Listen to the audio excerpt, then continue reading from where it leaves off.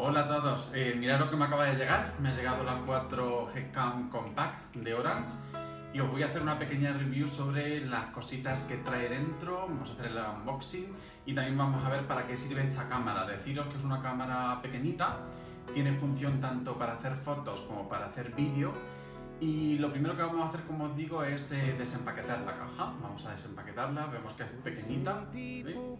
Es 4G porque se va a poder insertar también una tarjeta SIM. Y vamos en manos a la obra. Vamos a ver lo que tiene.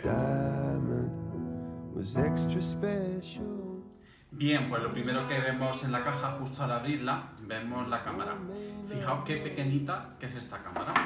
Tenemos aquí la parte frontal de la misma, la parte trasera donde vamos a poder incluir algún adaptador.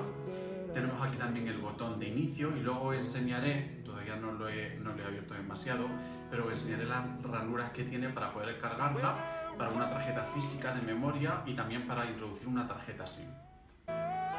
Y lo último que encontramos en la caja, pues fijaos, son las instrucciones con los pasos a seguir.